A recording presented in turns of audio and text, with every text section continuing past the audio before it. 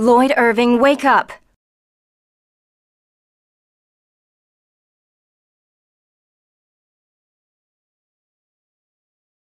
Lloyd!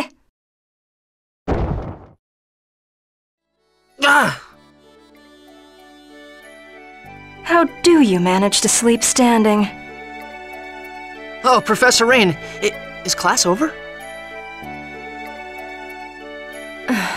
Never mind. Let's have someone else answer the question.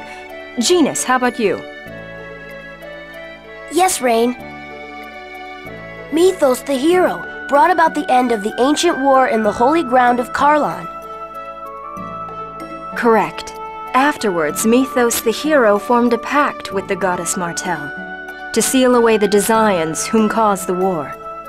But the Desians came back and are now causing everyone to suffer.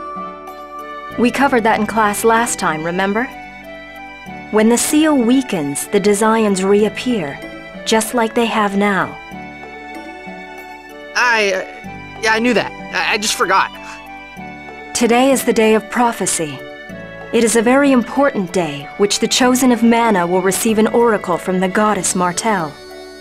Now, Chosen One, Colette, Yes, ma'am. Tell us about the journey of world regeneration. It is a journey to seal the Desians. Upon passing the trials of the goddess Martel, the summoned spirits that protect the world awaken, and mana is restored. Correct. I suppose we should expect the Chosen herself to know the answer to that one.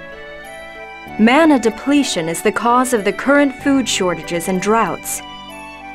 It is said that this occurs because the Desians consume vast amounts of mana in their human ranches.